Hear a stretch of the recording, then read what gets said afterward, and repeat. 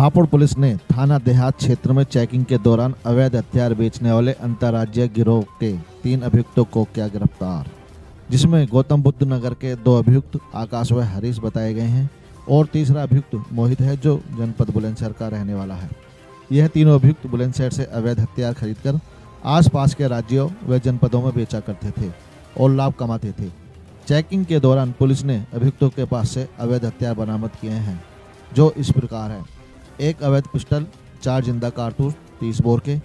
एक अवैध पिस्टल, बत्तीस बोर की और दो ज़िंदा कारतूस। तीन अवैध तमंचे 315 बोर के और दो ज़िंदा कारतूस।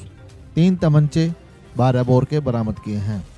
और एक मोटरसाइकिल बरामद की है, जिस पर यह हथियार बेचते थे, जिसका नंबर यूपी इक्यासी सी सी चौहत्तर छियासठ है। और इस अंतर्राज्य गिरोह के बारे में हापुड़ के एसपी दीपक भूकर का क्या कहना है, सुनते हैं।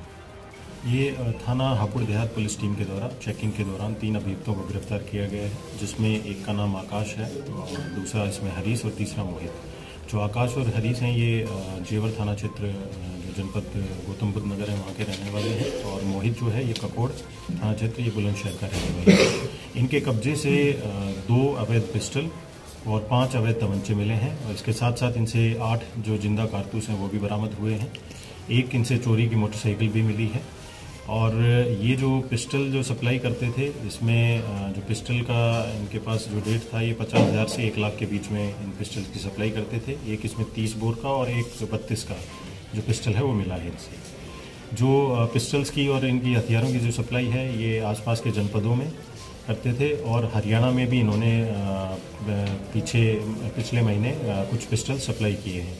तो इनसे और भी जो पूछताछ की गई है इन्वेस्टिगेशन के बेसिस पे जो और भी लोग इसमें जो शामिल हैं क्योंकि ये अभी इनसे पूछताछ में ये पाया गया है कि ये बुलंदशहर से पिस्टल खरीद के और फिर अन्य जनपदों में और हरियाणा में सप्लाई करते थे। सर जैसे निकाय चुनाव आ रहा है क्या उस, उसको देखते हुए चुनाव में सप्लाई करने जा रहे थे देखिए ये चीज़ तो अभी प्रकाश में नहीं आई है बट क्योंकि पुलिस पिकेट्स पे ये चेकिंग कर रहे थे तो उस दौरान ये पकड़े गए हैं और इनसे जो पूछताछ में जो तथ्य आए हैं वो उनसे मैंने आपको अवगत कराया